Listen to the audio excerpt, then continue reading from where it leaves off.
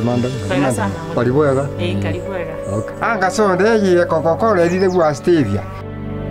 Sweetness from natural resource. Yake? Ikuthongi kwega. Thia ndawa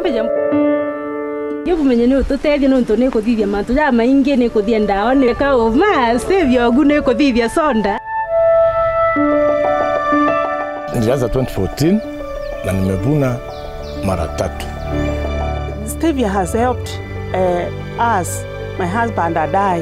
Uh, the, the money we get from Stevia is the one that we use to educate our son. Pesa ya stevia imenisaidia sana kwa sababu nasomesha watoto, nimejenga nyumba naye.